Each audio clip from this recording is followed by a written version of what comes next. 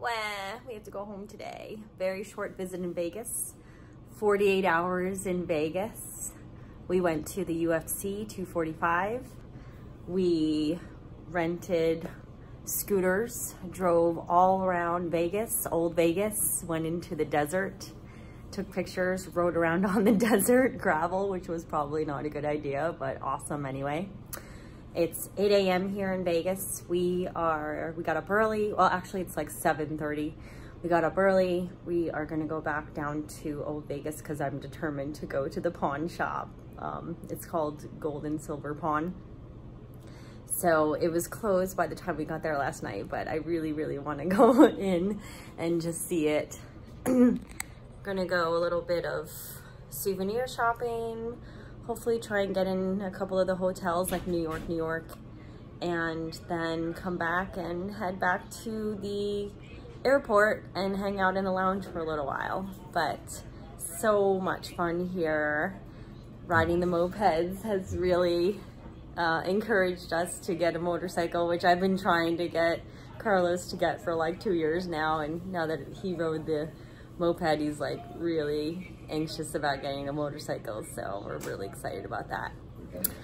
So we came here on a Delta flight for, let me think, 27,800 points each. So 27,800 points each got us Delta Comfort Plus round trip tickets. Then the hotel, which is the Oyo, O-Y-O. It's really great. It's actually right on the strip. And it's like you get all the advantages of being right on the strip, right next to the really cool hotels like New York and MGM without the crazy high prices. So I got this hotel with the chase points, but be aware, and it's not just this hotel, there's hotel fees. It's like their taxes or something, which are super high. So basically for the cost of the hotel, we had to pay taxes and fees. So that was like $85.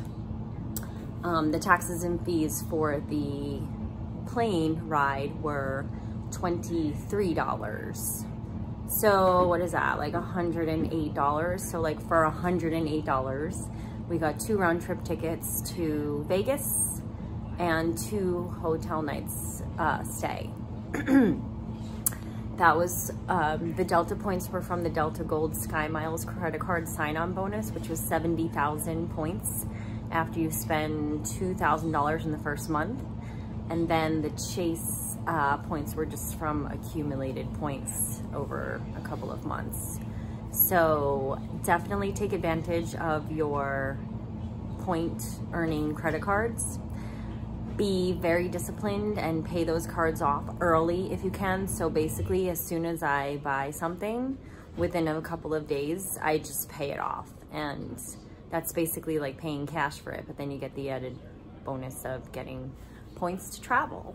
So good luck in your point earning, accumulate a lot of points and travel the world.